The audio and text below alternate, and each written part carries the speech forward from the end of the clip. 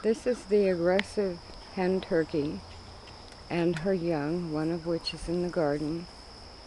Um, look at how big they are. In the last week, their tails have grown by about four or five inches. Um, tail feathers. Anyway, there are seven of them. The day that she came up to me, that um, I felt was very, very aggressive and she had gone after other animals, I have one of one of her young just went around the corner with the bush. Here it comes. That's probably the wandering minstrel.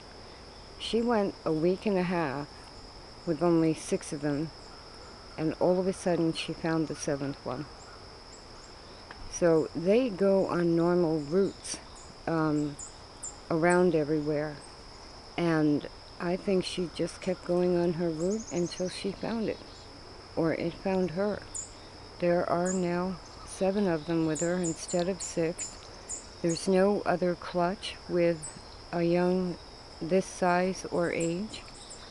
So one of these little guys spent a week alone without mom and did fine.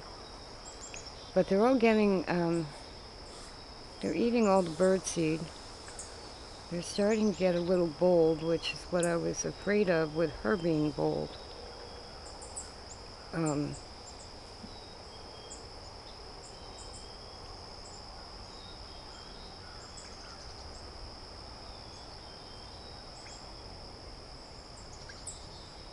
Beautiful. They're beautiful. Look at the feathers.